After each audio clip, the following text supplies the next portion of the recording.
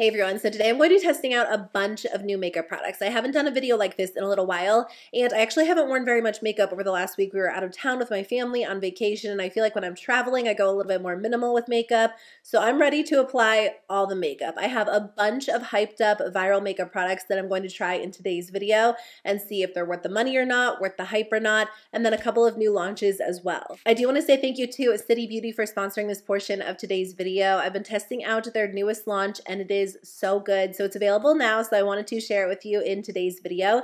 This is the City Lips Night Oil. I am a big lip oil fan. If you've been around for a little while, you probably know that I've tried so many lip oils over the past few years especially. And I think the issue with a lot of lip oils is while they feel good initially, once they wear off, you lose any sort of benefit you were receiving while the product was on. And sometimes after they wear off, I feel like my lips feel worse than they did before I apply the product. Like some of them end up drying my lips out completely. That is not the case with this one from City Beauty. This one has immediate and long-term benefits. It feels so good on the lips. So this is a night oil, so typically I do use it at night before I go to bed, and then it works overnight in the morning when I wake up. My lips are super hydrated, really plump, but you can also use it during the day too. I feel like it is a really nice option to prep your lips before you go in with makeup. And today I'm using a lip stain later, which can really enhance any fine lines, any dryness. So I do feel like this comes in handy during the day as well. So this feels really plush as you apply it. It has really good ingredients that actually help your lips retain moisture,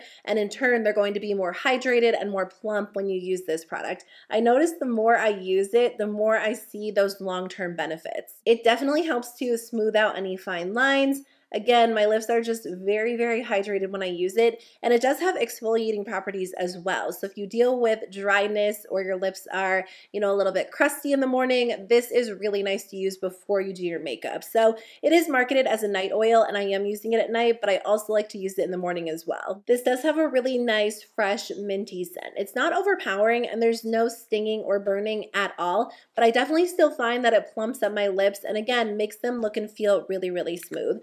So this is a new product, but they did give me a coupon code. So if you use the code M, you can get 15% off your order, which is really, really nice. This is something that I will use continuously and actually use up fully because again, I see those immediate results, but also the long-term benefits. So I'm excited to keep using it and incorporating it into my routine. If you are someone who deals with dry lips or you have chapped lips, if the winter has been really harsh on your skin, or you just have thin or even wrinkly lips, this product is something you will love. It makes such a difference. So thanks again to City Beauty for sponsoring this portion of today's video. So let's start with the complexion. I do have a new primer to try out. This is kind of like a skincare primer all in one. It's from Glow Recipe. I really like their products. This is the Strawberry BHA Pore Smooth Blur Drops. Here's what the packaging looks like. It is super cute. So you just twist off the lid and then you squeeze a little bit out. It's supposed to immediately blur the look of skin and then absorb oil for a natural soft focused satin finish. That sounds perfect for my skin. So you can use this as like a skincare product in your skincare routine, but if you're going to use it as a primer, they say to use as like the last step of your skincare routine and allow it to fully absorb before applying any makeup. It does have a little bit of a strawberry scent, but it's not overpowering. I feel like a lot of Glow Recipe products are very, very scented, but this one is not as intense as some of their watermelon products, I would say. Okay, it's definitely applying really nicely. I do feel like it is sinking in quickly. Okay, my skin feels very smooth. It does kind of feel and look blurred, which is interesting. I wasn't expecting it to work so quickly. I do think it feels mattified, but it's not over the top matte. Like it feels hydrated as well. It just feels good. So we'll see how it wears under makeup. I am going to use my go-to foundation, which I feel like I always use in testing new makeup videos unless I'm actually testing a new foundation. But today I'm testing a new primer, a new concealer, and a new powder. So I want to make sure my foundation is something I know works extremely well. And this is a favorite of mine. It is my favorite. It's the Catrice True Skin. I have the shade Neutral Sand. I actually just repurchased this because I used it up fully.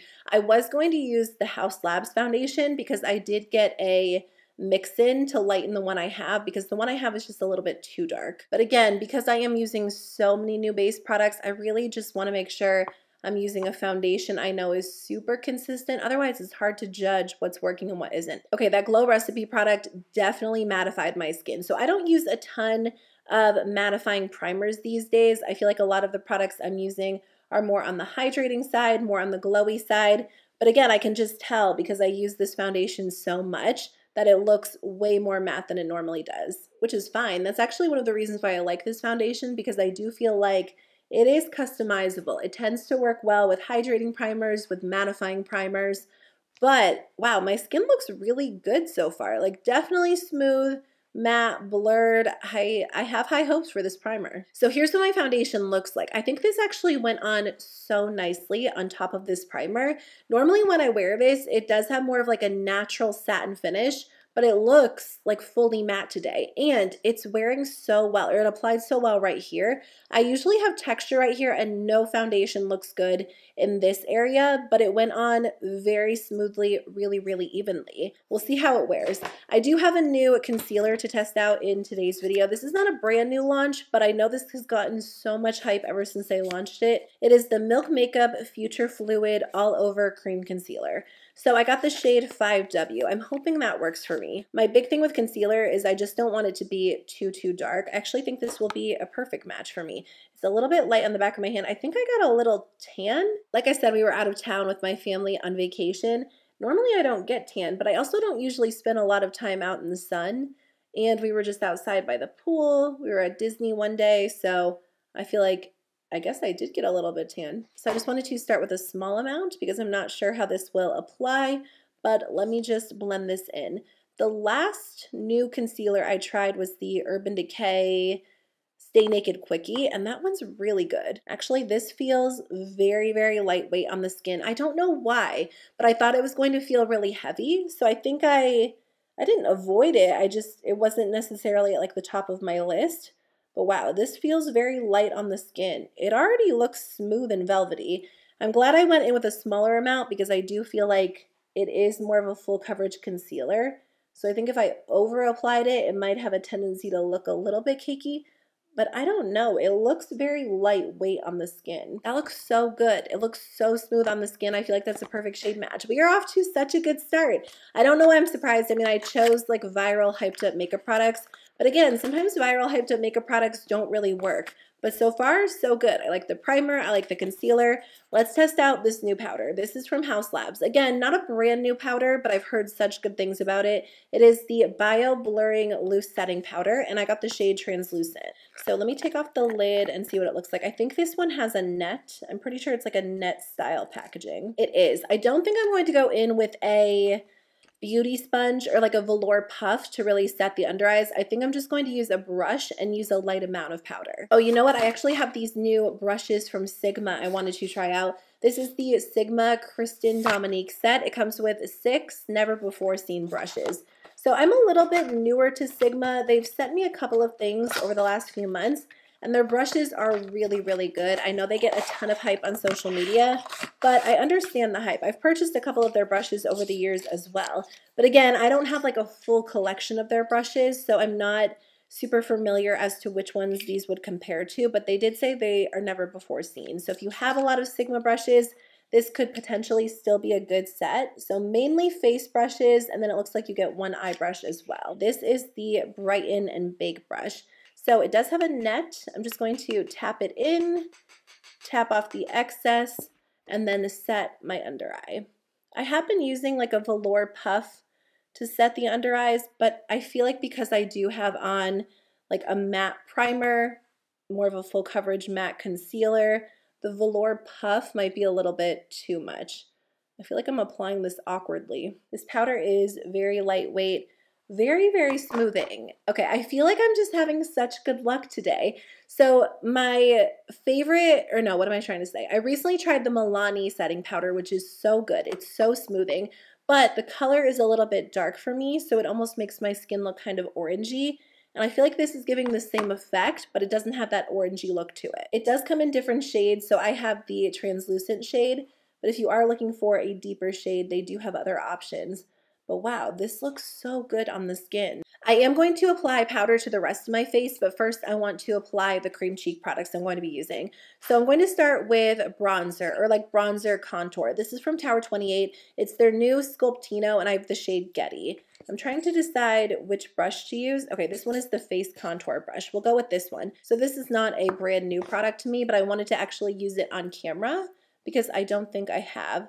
So it goes on nicely. I like the Tower 28 blushes. I find that they stay in place very, very well. So if you are a fan of more like long lasting cream products, I do think Tower 28 has some great options. They do have a product called the Bronzino. I think that's what it's called. I don't know why where I would have gotten that name if that's not what it's called. But I believe that one has shimmer in it. I think that's more of like a luminous bronzer, whereas this one is meant to be like a bronzer contour all in one. But it applies really nicely. It's not overly dewy or overly luminous. I feel like it sits on the skin well. And again, because I have more of that matte base underneath, I feel like it is kind of toning it down a little bit. Usually I go in with a little bit of a heavy hand because I do feel like once I set everything with powder, it almost tones it down a little bit. And I don't prefer to go in with like a powder bronzer on top of a cream bronzer and a powder blush on top of a cream blush. I just feel like then I'm applying too much product. I don't know about you guys, but I feel like inevitably whenever I'm wearing cream cheek products and I'm using a brush to like stipple the product on, I'm going to end up with some of the foundation underneath picking up a little bit. Some do it worse than others, but I feel like some people are like, oh, this product really picks up my foundation. Oh, this doesn't pick up my foundation at all. Inevitably, I noticed that it's going to move around a little bit. I'm just going to go in with my foundation brush and kind of soften the edges a little bit. For blush, I have a few different options. I'm not sure which one to go with. So I do have two of the Charlotte Tilbury Pillow Talk Matte Beauty Blush ones. They did send these to me in the mail as PR, so I thought I would try them out. I have Pink Pop, and then I also have Pillow Talk. But I also have this blush from Too Faced, which I'm curious to try as well. This is the Cloud Crush Blurring Blush, and I have the shade Candy Cloud. Actually, it's Candy Clouds. It's like one of those really bright pink blushes. I feel like this could be such a pretty option too.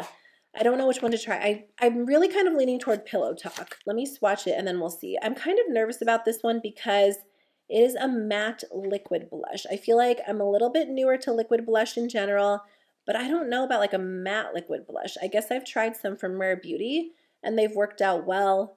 This is like a sheer swatch of it. I, I feel like I'll go with this one. Liquid cheek products just really intimidate me. Is that too much? I probably should have just gone in with one. All right, I'm just to go for it. I applied two dots and I'm going to blend it out with this brush. Okay, it's intense, it's vibrant, but the color is really, really pretty. See, again, I just feel like inevitably it's going to end up removing like a little bit of my foundation underneath. If you guys use a lot of cream products, does that happen to you? I feel like no matter what I use, like that always happens if I use any sort of cream blush or liquid blush. So now you can really see like the freckles on this side which is fine because I feel like it ends up making things look a little bit more natural, but you can see the difference. Like this removes a lot of my foundation, whereas it's still in place on this side. When I first started applying that blush, I thought it was going to be really intense, but it blended away and now it looks very, very light. So I'm actually going to go in with a little bit more. I applied it on the back of my hand because I feel like as you blend it out, it really fades. Now I feel like I went in with a little bit too much. I feel like somewhere in the middle probably would have been more ideal. I don't know. It looks a little bit, it looks a little patchy on my skin. And again, I mean, it did remove the foundation. You know what? Like now that I say all of that, I don't think the Rare Beauty blushes really do end up removing a lot of my foundation. Maybe a little bit, but not to this level. I'm just not really sold on this blush. I feel like it looks a little bit patchy on my skin. It ended up erasing more foundation than I thought it would. I am going to go in with powder and set the rest of the face. So this is the setting powder brush.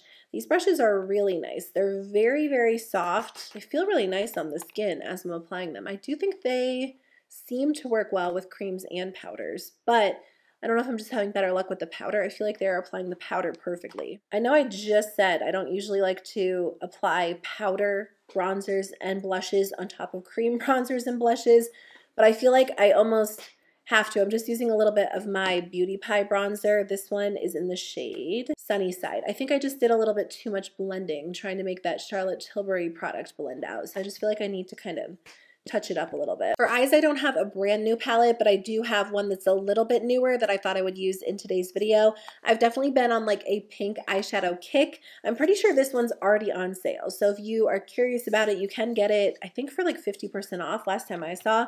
Too Faced already launched a new palette since this one, so it's kind of old news, but I figured I would still use it. This is the Pinker Times Ahead palette. So I'm going to start with this shade. I'm not going to do anything over the top. I'm just going to do like a soft pink look. I've really been into pink eyeshadow lately. I feel like I should probably do something, well, I was going to do something a little bit more neutral today, but again, I don't have a brand new palette to use in today's video. I don't know. I just haven't seen like a really exciting palette launch in a while, so nothing has really caught my eye. I used to love pink and purple eyeshadow, and then I kind of got away from it, and I wasn't wearing like a ton of eyeshadow, and when I was, it was definitely more on the neutral side.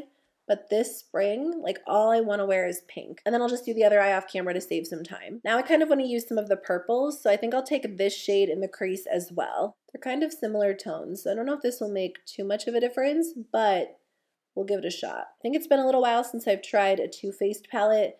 These matte shadows are very, very powdery, but really smooth, really easy to blend out. I'm going to take this shade on the lid and then I'll probably add a little bit of this one. I was thinking about going in with this, but I don't necessarily want to go over the top with the eyes today. I feel like just kind of like a softer spring look might be more ideal. This purple shadow is very underwhelming. It's very, very subtle, which isn't a bad thing, but like it this is like the fourth time I'm applying it. It just doesn't want to show up very well on the eyes. I'm not a fan of that one. Let's try the lighter shade. Yeah, I feel like the lighter shade is better. It's definitely brighter, more pigmented. I guess I kind of wanted more of like a sparkly finish. These are like soft satins, but in the pans, they look like they're going to be intense metallics. I just feel like this is a very mediocre palette. When I looked at the shimmers in the palette, I thought they were going to look a lot better on the eyes, but wow, they are incredibly underwhelming. I mean, I like built this one up three times, probably twice for these and just once for this. Uh, these are not good. I just grabbed this ColourPop Super Shock Shadow in the shade Day Trippin'. I'm just going to take a little bit of this and just apply this on top. I just feel like the look needs something extra, and I feel like this will probably help at least a little bit. I'm just blending a combination of the light pink and purple under the eyes to tie things together. The matte shadows are fine. I mean, they're not like the best mattes I've ever tried, but they do blend out very easily, but the shimmers are not good. So I really don't recommend wasting your money on this palette. I feel like if you want a pastel pinky purple palette, ColourPop has better options that are a lot less expensive. So before I finish the eyes like mascara and eyeliner, I just wanted to apply my brow gel so it has a chance to dry. I picked up this one from Glossier. I have been hearing about the boy brow for years and years, and now that Glossier is at Sephora, I thought I would finally try it out. So this one is in the shade brown. I feel like the big claim with this one is that it gives you like very fluffy brows, which I am into. So I'm excited to try this out. I feel like I've heard so many things about this over the years. It's applying nicely. Like it has a good amount of pigment to it. And I do feel like it's going to be able to hold my brows in place as well. Wow, okay, this has a lot of pigment to it. That is what it looks like on my brow compared to this one. That is more intense than I thought it was going to be. I thought it was going to be like more of a waxy texture. You know, the ColourPop Brow Gel came out soon after this one, and I feel like a lot of people were saying the ColourPop Brow Gel was like an alternative to this, but the ColourPop Brow Gel is not quite as intense. Let's see how it looks on this brow, because this is like my thin problem brow over here. It feels very lightweight, but it feels very wet. So that's why I like to apply my brow gel before I go in with my brow pen to define it because I like to let it dry down a little bit and then see where I'm at. So obviously I'm not going to leave my brows like this, but that is a little bit more intense than I thought it was going to be, but I feel like it's holding this one in place. Now that my brows are a little bit thicker, I do feel like not all brow gels I used to enjoy work as well because now, again, that they're a little bit thicker, the hairs are a little bit longer, I feel like they do fall faster. So some of my go-to brow gels just don't hold the hairs in place as well. While I wait for that to dry, I am just going to go in with mascara. I'm going to be layering two. This is what I've been doing lately. I don't have a new mascara to share with you, so I'll show you what I've been loving. This is the Tower 28 Make Waves Mascara. This one is almost done. I feel like it's pretty much dried out, but I'm going to use it today. So I usually use this one as like my base mascara. So I like using this mascara first to really add a lot of volume. I think it does a great job of like lifting the lashes, making them look thick and curled. This is like the last time I can use it. I feel like it's dried out a lot. So it's not performing quite as good as it normally does, but it's still doing the it's still doing a good job. After I go in with a base layer of that, I've been using the Milani Highly Rated Lash Extensions Mascara to really add like a little more length. And I don't love this mascara on its own because I do think it has a tendency to get kind of clumpy, but I feel like paired with a volumizing mascara, it's so good because I just add like a light layer on top and it just extends my lashes to make them look a little bit longer. I just feel like this combo is so good. I have to go in and clean it up because I did get a little bit on my lid, but together they just work so well together. So let me do the other eye and I'll be right back. For the waterline, there is a new Too Faced Killer Liner shade in Killer Pink. I'm definitely curious to apply this. I've never really done pink liner on the waterline, and I do love the Too Faced Killer liners. I think they stay in place really, really well on the waterline. I feel like the pink is a little bit different than the light nude. Actually, Killer Cashmere, which is the light nude from this line, is one of my favorites. I don't know. I kind of like the pink, but I also feel like maybe it looks a little bit strange. Like, is it a little bit too much pink? Especially with the black mascara, I feel like maybe they contrast a little bit too much. I'm just going to apply a little bit of mascara on the lower lashes Nothing too intense because I do feel like, again, with that pink liner, it might be a little bit too much just a little bit. Okay, I ended up cleaning up a lot of fallout. There was shimmer shadow like all in this area and even the matte shadow like kind of fell in this area too.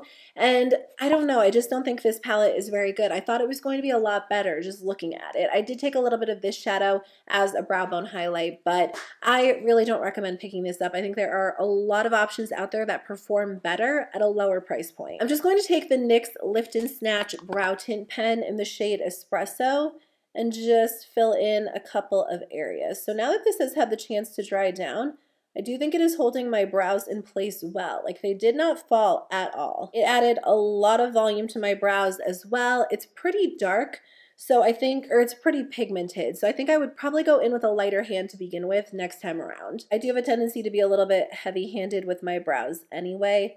So I feel like that's kind of the case with all brow products. But I'm impressed by this one. I understand the hype. I think it's doing a good job of holding my brows. It added color, definition, volume. They look good. I am going to go in with a little bit of this Too Faced blush. I Since I ended up cleaning up some of that fallout, I feel like it erased a little bit of the Charlotte Tilbury blush, which I'm just, I wasn't really a big fan of anyway. So I feel like I could use a little something extra. And I almost feel like this would just kind of tie the entire look together since the eye look is so pink and so intense. This is kind of a larger a larger brush than I would typically use. It's just what I had on hand. I feel like that looks pretty. I maybe added a little bit too much. It's definitely a little bit brighter than I thought it was going to be, and it is like a true matte blush. I almost wish it had like a little bit of a glow to it. I know some of the blushes from this line did have a glow, but I feel like this looks very matte on the skin. So I think it's pretty, I don't know, I'm not necessarily sold on either blush, the Charlotte Tilbury one or this one, but I think this one looks more even on the skin. I definitely need highlighters. So I did end up picking up a new highlighter. This one is from Rare Beauty. I held out for a while and I finally decided to grab it because this gets so much hype and I want to see if it's worth the hype. I love a good highlighter. Honestly, I don't have too, too many in my collection right now. And I just felt like after waiting a few months and this still being on my wish list, it was time to try it out. So I got the shade Exhilarate. I'm just going to use the Sigma Christen Dominique All Over Face Precision Brush. I'm fairly certain this is like an intense, oh, that is a lot more intense than I thought it was going to be. I knew it was going to be intense. I feel like I should have used a very small, precise brush. It's too much. Let's take the leftover on this side. That is an intense highlighter. And what, what did I do? Why did I apply it right here? I applied it like under my eye. This video started off strong, but I feel like it's been a little bit of a roller coaster. But all of that aside, this is a very, very pretty formula. It's so lightweight. Like it, it feels undetectable on the skin. And even though it was intense, like the actual texture of the product isn't noticeable. I kind of wanted to grab the pink one I should have. I should have gotten the pink one, but I feel like the gold one I'll end up wearing more. This is really, really gorgeous. I just want to swatch it because it is so silky. Oh my gosh, I didn't think anything would be able to top my Becca highlighters, but I feel like maybe this one will. It's even lighter than those. It's so smooth on the skin, like it doesn't even feel like you're applying powder. I'm not trying to be overly dramatic about a highlighter. I'm just really surprised that it's so lightweight because it is really, really intense. So I'm excited to keep using this one. I'm glad that I bought it because I feel like it is worth the hype, like even just my first initial time trying it. But I'll keep you posted after I use it a little bit longer. The last product I am so excited to try is this one from Fenty. It is the Poutsicle Hydrating Lip Stain. So I know this had its big viral moment last year, but the shade that I've wanted has been out of stock, at least the last few times I tried. I've been holding out for the shade Berry Banger. There were a couple of other shades I thought would be really pretty, but this is the one I really, really wanted. So I don't know. Do I wear a lip stain with this or a lip liner with this? I feel like I shouldn't because I want to see if the actual stain works. I feel like I need something to just kind of outline the edges so I don't apply it outside of my lip line. My lips are hydrated from the lip oil earlier, so I don't think this will dry my lips out. Ooh, I'm so excited to try this. It feels very light, very glossy. I'm not sure this shade really goes. My makeup, what is going on? Like, I feel like it just doesn't flow today. Okay, so this is what it looks like on the lips. It went on really nicely. It's very, very comfortable, like very hydrating, really glossy. And once that glossy layer wears off, you're left with a stain. When this was going viral, everyone was removing like the top glossy layer and then you could see the stain. I wouldn't normally do that if I was going to wear this because I like the glossy finish. But out of curiosity, I'm going to take it off and see what kind of stain it leaves behind. Okay, it definitely stains the lips. It's been a little while since I've had like a good lip stain in my collection because in the past they've all been so drying. So that's the stain it leaves behind. Really pretty, but I'm going to apply this back on top because I want to see how long the gloss actually lasts. Okay, so this is the final look. Kind of a weird mix of colors in the end. I don't know that I would typically pair this eye look with this lip color or this lip color with this blush, but that's just kind of how it worked out. So this was like a roller coaster. I feel like the beginning was so good. I had so many amazing products I was trying, and then the middle was kind of off, and then the end, again, I tried some really good products. So anyway, let's just kind of go over them. This face primer really, really nice. I'm definitely curious to keep trying this out. I don't know that I would love it as a BHA serum at night because I do love my Paula's Choice one, and that one seems a little bit more intense,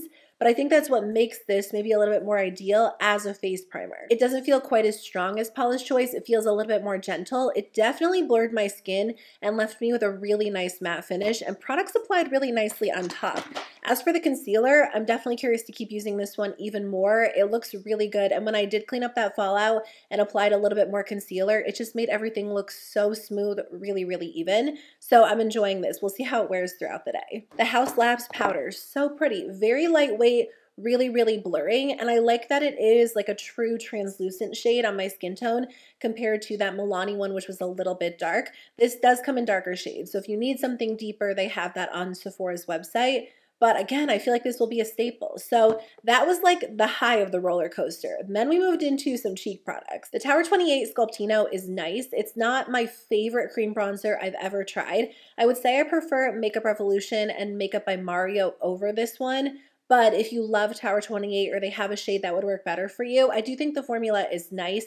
It's just not quite as smooth as a couple of other options I've tried. I'm not a fan of the Charlotte Tilbury blush wand. I felt like it looked kind of patchy on my skin. It definitely erased my foundation. And after I like went in with the other blush, I felt like everything looked a little bit better. So I'll try it a few more times to see if it works better with other foundations or other brushes or techniques, but so far I'm not sold on this. Eyeshadow palette, a definite fail. I like how the look turned out in the end, but the quality is not there with this product. I wouldn't even recommend picking it up on sale because I think there are just too many inconsistencies. The matte shadows are good, but very, very powdery, but the shimmer shadows are so lackluster, really underwhelming. So this is not worth it. The blush is pretty. It's not quite as bright as I thought it was going to be. Like it definitely looks more of like a true rosy pink on my cheeks. I think I thought it was going to be the color of my eyeshadow on my cheeks. But I don't know. I know everyone's been going crazy over like this blush color in particular, not just Too Faced, but like the Dior one, ColourPop has one. I just don't know that it's like an ideal shade for my skin tone. So the formula was nice. It went on really well. I just don't know that this blush will be a favorite of mine. I tried so many products. I don't know that I can even find all of them at this point. Glossier Boy Brow went on really nicely. I think I'm going to be a fan of this. I do feel like it locked my brows into place well. It filled them in nicely we'll see. We'll see if it ends up replacing some of my other favorites, but I do think the quality is really, really good. So if you have any other Glossier recommendations, please let me know. I think I like this pink on the waterline. If I'm wearing a pink look, I feel like it looks good because typically I do put like a lighter nude in the waterline if I'm wearing pink.